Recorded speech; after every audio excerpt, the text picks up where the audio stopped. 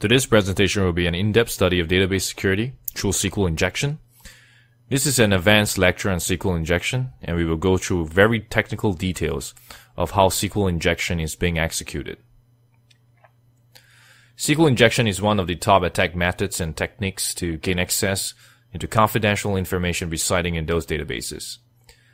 It is primarily performed through web applications where the input is not properly sanitized, which are then passed into the database for execution. So for today's presentation, I presume you already understand about general programming languages and scripting weaknesses inherent in many web developments. Another prerequisite knowledge is that you already know the different types of databases like MySQL, PostgreSQL, and the likes in companion with Windows operating systems and Linux operating system. And for today's in-depth analysis, you must know SQL commands at your fingertips. And then we'll dive into an illustration of SQL injection by tracing the data input. As a start, most SQL injections are inserted into web forms. Web forms meaning a web page that takes in an input or multiple inputs of a form that are then submitted into the web application server. We didn't know exactly what type of web server it is running on this host. We can use scanning tools like Nessus, Rapid7, or even more basically Nmap to get an information of the system, after which we can find vulnerabilities pertaining to this type of web service so that we can exploit the web forms much quicker. There can be a lot of information from the NAD regarding the web service and its associated versions with its vulnerability. In fact, Many a times we can find exploits that allow us to bypass the web forms control. The data input comes from the user and it is then sent over to the web server. At the web server area, there can be a lot of processing involved and it is then sent over to the database for querying this particular user and his password. Generally, once the data is placed into the web server, the web server has a lot of free access into the database server. We need to understand what query does the web server send to the database now that we have direct connection and command execution to the database. Firstly, we need to speculate the SQL statement that is being input from the web server in order for the user to log into the system. Logically, we also need to map out the potential outcomes from the query. It could be that the login information has been mailed to your email that the username is unrecognized, or there are some types of server error with debug information. Server error with debug information can present a lot of findings for us to further the exploit. We then have to check for input sanitization from the web form by dumping single quote or double quote into the web form.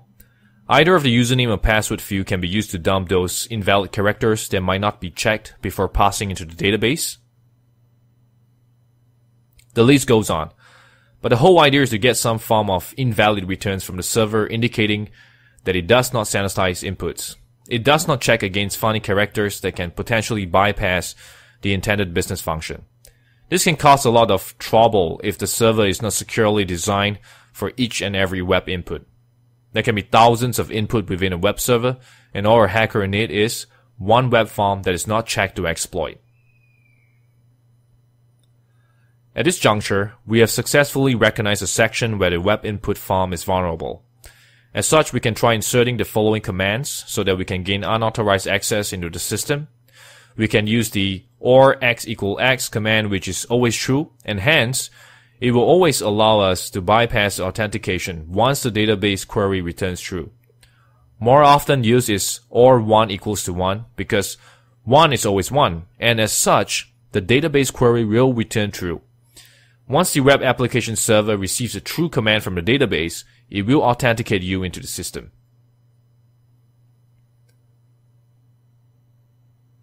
We need to identify all the columns within the table that we are inquiring on. This is important because certain columns can provide us very important information so that we can use it to gain confidential data. So the database has two ways of responding to you. If the server returns an error, it means that this field, email, does not exist at all. Hence, we will have to try another method. However, if the server returns you that the user is not found, it means that the column does exist. So we need to keep guessing. And for a column like email, it could be e underscore mail or electronic underscore mail or the likes. Whatever the case is, we need to find the important columns. Also, if you realize at the end of the SQL command, we ended it with a double dash single quote. This is to end the command immediately. As can be seen here, we are again trying to guess out important column names so that we can get information necessary for us to gain further privileges or sensitive information. It can be for login ID, user ID, password, full name, or even credit card information. In fact, we can move over to new user registration forms to look at what are the input values coming in, or being spe- specific on the web form so that we can map the column names properly.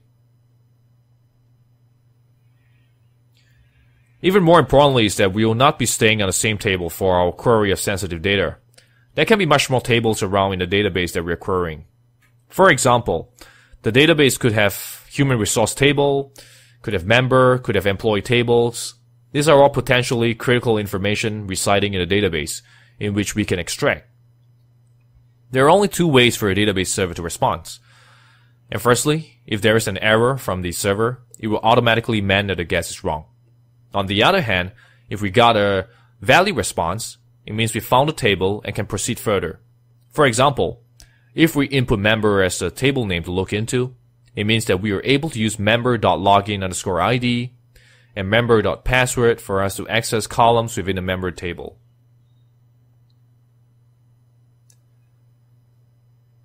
Next is finding out exactly who are the valid users within this table for logging into the system.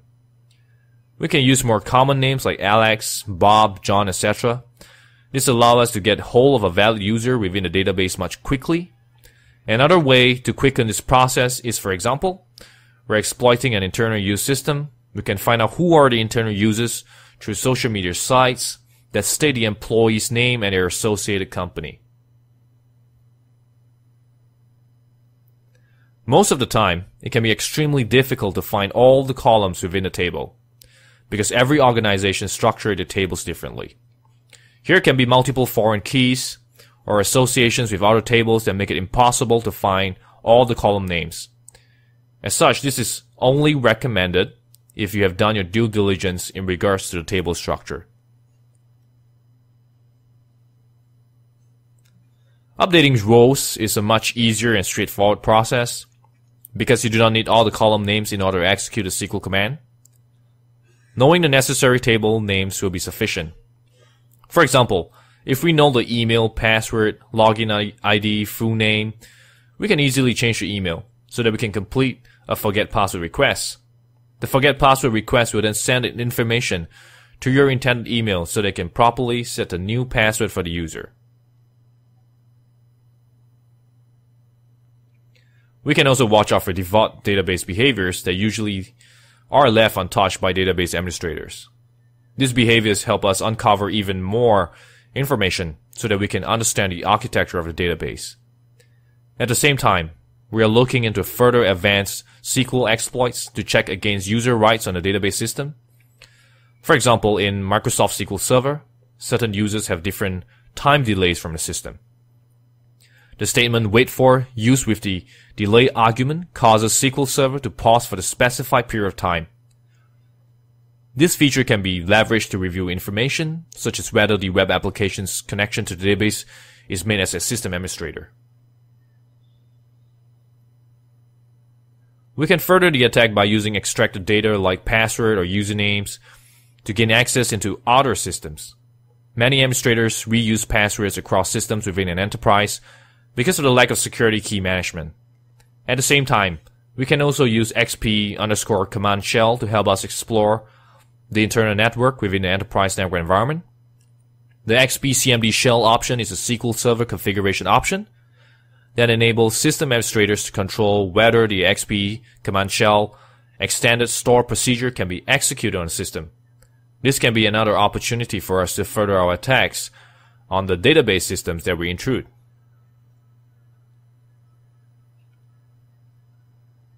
Of course, in order to defend your databases, you need to sanitize input. For example, there can be multiple quotes coming into your web forms, and hence, we need to be able to stop those intrusion entering your database. This can be primarily controlled within your web application systems. As can be seen here, this is an example code on the left side. We have an unsecured coding method, which calls for the database query. It allows SQL injections in the web forms without sanitizing the input first. On the right side, we have a secured coding method where we force the incoming data to become a string first before we pass it into the query statement. Hence, this allows us to control the type of data input from the user. Another method is to set the access control from different applications. We have to clearly identify the differences between a select statement and an update statement. We can force the web application to be only allowed to use select statements within any update permission. This ensures that hackers have no power to manipulate the data within the databases. This is a thorough and good process to deter alterations to your data. Another method is to store the procedure and call this procedure instead of letting the web form run dynamic queries. This enables the start procedures to be limited to certain commands, which cannot be overwritten by the user. This gives better security control over the set of instructions that the web server can execute on the database. We can also further isolate the web server and lock it into a different region of the network. As such, if the web server gets compromised, it does not affect the database or the rest of the network because it is limited in its reach. Many public facing servers are located within the demilitarized zone. So a demilitarized zone is a physical or logical subnetwork that separates an internal, internal local area network from other untrusted networks. Next is to restrict the type of arrows that are being shown on the returns from the web server to the user. The arrows help the hacker pinpoint exactly where are the weak spots of the web form and if their attempts are successful or unsuccessful. Today's presentation should give you a great idea of how SQL injection is created. If you want more technical tutorials in regards to SQL injection or other computer hacking techniques, feel free to subscribe to this channel so that you can learn more about cybersecurity.